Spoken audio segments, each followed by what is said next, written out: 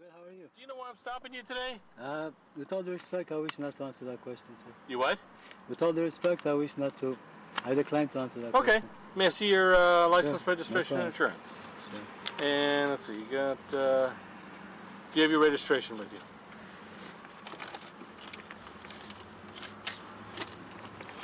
So the reason I stopped you is you're going too fast. Any idea what the speed limit is? Uh, with all due respect, I wish not to answer that question, sir. Okay. You don't have to answer anything. You're a commercial driver. You know you should be paying attention better.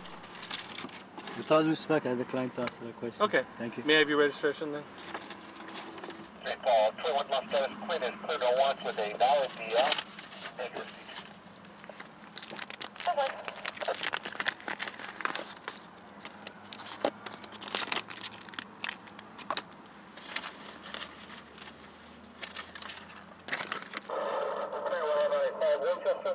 Okay.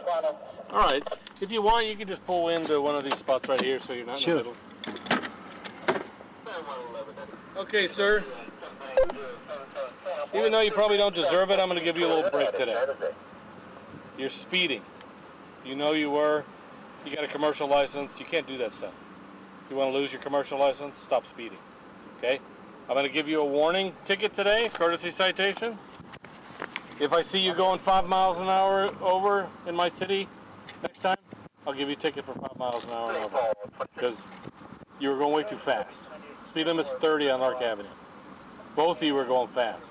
My LiDAR tells exactly what the speed is. I know what it is. In Los Gatos, there are no speed limits greater than 35 miles an hour. So if you're ever exceeding 35 miles an hour in Los Gatos, you're speeding. And next time there will be no tolerance. Thank you, sir. Understand? Thank you. Have a great day. You too. Oh, oh, oh.